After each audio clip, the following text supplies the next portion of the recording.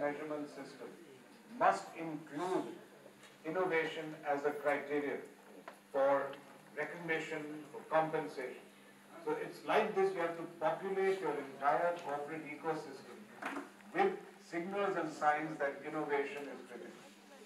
Finally, and this is a longer topic, so, uh, but I will try and say it very briefly, is that I find that innovators are usually people who are. People who like taking credit and receiving the benefits of their innovation.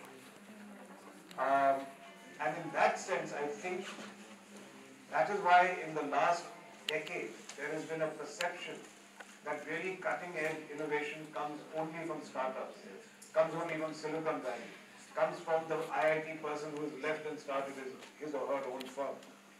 My view is different. I